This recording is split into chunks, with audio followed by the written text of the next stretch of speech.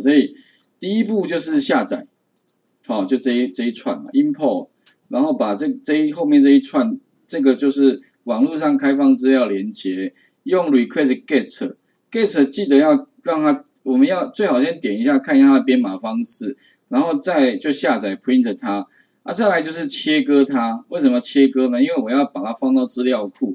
所以放资料库一个萝卜的坑啊，你不能说全部塞进去，全部塞进去没有意义了哈。所以通常会切，那怎么切呢？先换行先切。那这个范例比较特殊，是通常还有个多一个反斜线 r，OK，一般是反斜线 n 就搞定。那这边多一个反斜线 r，哦，OK，把它注解，这个把它画一下哈。然后呢，它这个从第一为什么从第一？因为避开那个栏位嘛哈。然后减一的话，因为最后好像会有空的资料，会多一个，所以把它减掉最后那一笔啊。然后呢，刚刚有一个就是会有那个空的资料，我要把它去掉，所以这边的话我就用什么？用 s 呃那个呃 strip 啊 strip 把它去掉，然后再看一下 OK 了啊。接下来就是新增资料库、新增资料表，然后写进去，我用 SQ many。SQ many 哈。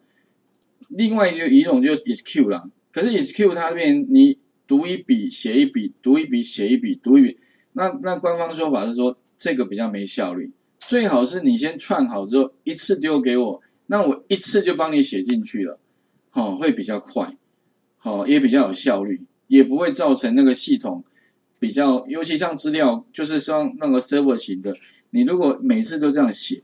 那那个他就一直处理你的事情就好，啊，其他人的话呢就在那边，哎，奇怪，怎么一直连不上线？糟糕，怎么系统好像当掉了哈？啊，其实不是，因为啊，你的写法不是很 OK，所以他比较建议你用 SQ Many，你一次告诉我一次做完就好了。哦，其实你们工作也是最怕就有那种人想到哦，跟你讲一下，你老板就跟你想到啊，你要什么啊，就跟你讲一下，那突然一想啊，跟再跟你讲一下，你很想跟他讲说，你可不可以一次跟我讲就好了？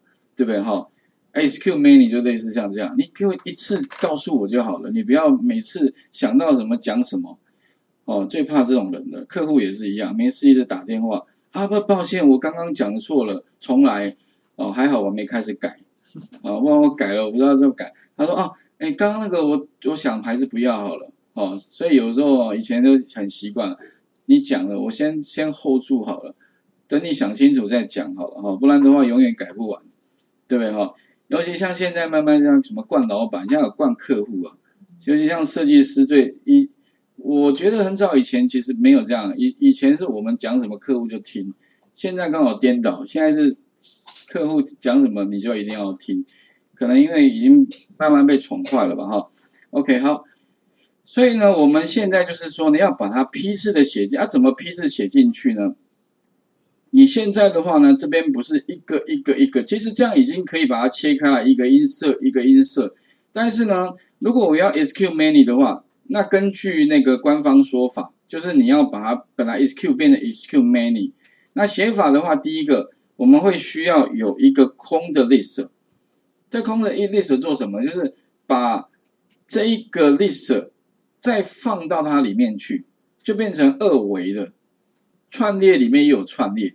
OK，好像有点比较有点比较不好理解，不过我们实际上来看一下啊，也就在底下，我们在刚刚的这个历史二底下哈，做一个什么呢？这个历史三空的，它做什么呢？就是把我刚刚的这个历史二放到 append 到它里面去。OK，所以放放放放放，一直放进去就对了哈。那所以最后的话呢，我们写完之后，我就把它怎么 print 出来？这个有印象吗？这应该有讲过了。有吗？没有。哦，好，那应没有看一下影片嘛？我我应该我记得有了哈，因为我教太多班了，我也不知道说到底有有应该是有讲了，因为我照那个顺序讲。好，那我们来试一下啊，意思就是说我建一个空的，然后呢把它放到里面去，那最后看到的结果就一定要长这样子。哦，什么意？你可以看到了哇，不过资料太多了，一直跑一直跑，我现在还在跑。那一哎不对，糟糕，写错了，暂停一下，写的位置不对，应该是写在哪里？写在回圈外面，啊，不然的话它会一直一直 print 一直 print 哈，OK，应该是这样子才对，那把它全部串完之后，再把它直接一次执行，OK 哈。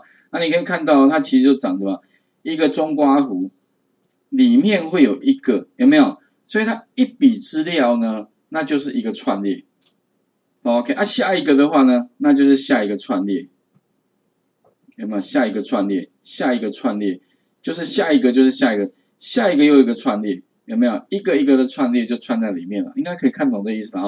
然后再来的话呢，我们就什么？整笔一次全部输入，那怎么全部输入呢？就是直接呢用那个 cursor，sq，OK，many，然后呢 insert into 到那个 market 零一，那 values 就是后面加一个问号就可以。那总共几个栏位就几个问号。那再来的话呢，后面逗点主要是怎么样？加一个这个东西，就是串列，你就把这个串列呢直接就放到这边来。那他就会知道说，哦，你要新增的话，我一次呢就帮你全部新增进来了。那后面的话呢，你就不用特别去注意它的形态，因为之前我 insert into 的话，你要去串切加，然后一个什么东西加串串串啊，这个方法的话比较不容易出错哦。但是可能要注意一下，是你写的位置呢，一定要写在这个最前面啊。你是等它串完之后再 insert 进去啊，所以这边把这个注解拿掉。那最后的话呢，确定没有问题的话，就把它怎么样？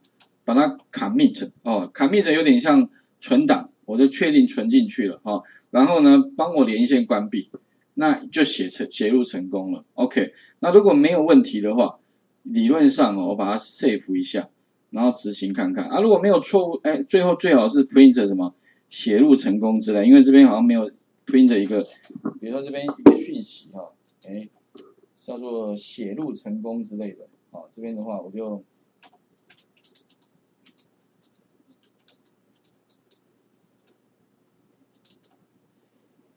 ，OK，好，这样的来试一下啊，我也不确定，应该是 OK 的哈，那执行，OK，好，哎，这个时候的话呢，哎，有看到写入成功，那表示呢，资料库应该就已经在哪里了，就已经在我们的资料库里面。那资料库里面我怎么知道到底有没有写入成功呢？其实哈，要不就是什么，再增加一个 select 语法去把它，要不然就是说我们用什么，之前跟各位讲过的，你可以用那个 SQLite browser 嘛，有没有？有一个这个 SQLite browser 啊，然后打开它 Open open 哪里呢？open 我们的就是专案下面的 src 的套件，里面的话呢就会有个 market 点，哎 market 点 db 这个东西。啊，把资资料库打开看一下哦，里面有一个 market，哎，market 零一，market，哎，怎么两个？OK，等下看一下，啊，里面有没有东西呢？哎，market 没东西，market 零一有没有东西呢？嗯，马上看到了哦，那你可以看到里面有几笔资料，三千六百二十三笔，看到了，OK 哈，那这样的话呢，等于是说我们已经把资料全部都放进去了。